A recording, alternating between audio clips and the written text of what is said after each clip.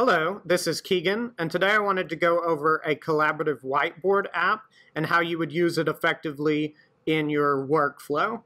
So let's jump into it. I'm going to swap over to the iPad and let's look at BaiBoard HD is what it's called, so you can search for that in your in the App Store. Let's open it up. And when you open it up, you're going to see the option to add a new work zone and also the option over here to join a meeting of someone else's. So what we're going to do first is we're going to join a new one. So I'm going to open this up. And then what you're prompted to do as soon as you open a new meeting is to start it. So I'm going to do that. And then I'm not going to do a passcode. So I'm just going to say start without entering anything. Okay. So I'm given a meeting number and a few options here. And what I'm going to do is there's lots of tools here that you can use to mark up. So, so you can spell things out or do mind maps or whatever you need to do. But what's interesting about this is another iPad can get in here and manipulate this space uh, in tandem with me. So what I'll do is you can either share up here your uh, oh, right here. You can share your board by inviting someone via email or iMessage. But what I'm going to do is I'll just use this meeting number here to get another iPad in this meeting. So let's do that. So let's get another iPad on the screen. Okay. And then I'm also going to watch launch board there. And what I'm going to do on this one is I'm actually going to join the meeting. And then it requires a meeting number and a passcode. Well, there is no passcode, so just the meeting number should suffice. And from that other iPad, here's that meeting number, so I'll type it in. 89916 82107. Join.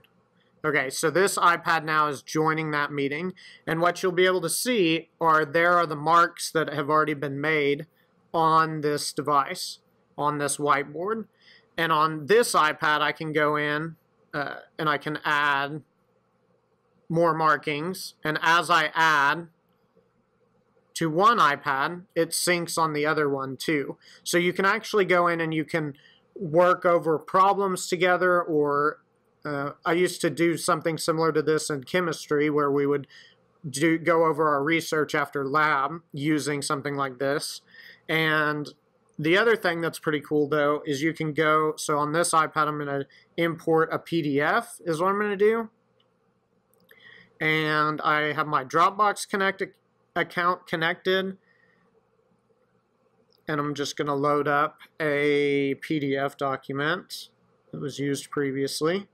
So it's importing this file, and now this file is on this board. And what I can do is, since I have this hand selected, I can open up that file. And then on the other iPad, I'll do that. I'll swap to the hand icon first, and then I will tap on that to bring up the open option down here. So now what I have are PDF document that I can go in and I can actually annotate uh, in tandem on both both devices, so I can add text. So whatever whatever edits I want to add, if something is wrong or needs adjusted, I can go in and change that um, as I need to, and then I'll back out of that here, and on this one as well. But what's cool about this is the application. That's what's cool about this. So there's a couple of ways I would suggest using this. You could either do it where you're in close proximity with someone and you wanted to write over the same document together while talking to someone.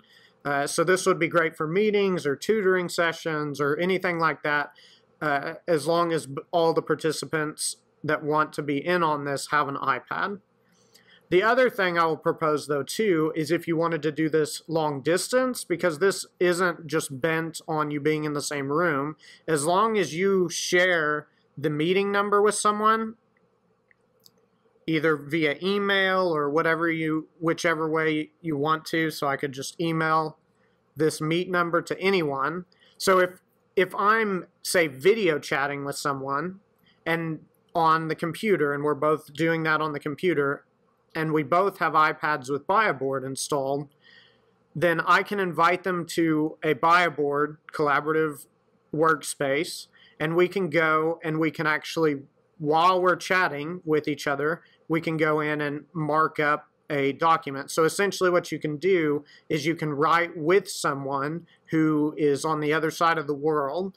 Uh, and then if you couple that with video chatting via Skype or FaceTime, it makes for a very effective way to collaborate and way to communicate with one another because you've added that visual element where you can go in and do lots of interesting things. Now, the other thing I'll add though too, so the participants do have to have an iPad if they want to collaborate, but there's another option built in here. And if you go into the gear, which you can go into settings, you can actually turn web sharing on, which allows you to, so you can tap this to copy that link, and then you can email that out. And then if you copy that link, what you can do is you can send that link to someone and they can view, it's a view only, but they can view from a, a web browser on a computer. So you could still interact with someone that didn't have this on iPad, but it wouldn't be quite the two way interaction that would make for a powerful collaboration experience. So, as I mentioned, there is the one caveat where this is an iPad only tool at the moment. The advantage, though, is this is completely free. It doesn't cost anything, so you could start doing this immediately. All you need are participants with iPads, and you're ready to go. Well, I hope you've liked this video. Leave a like or comment, subscribe, uh, leave any questions down below, and I will try and get back with you. Thank you very much.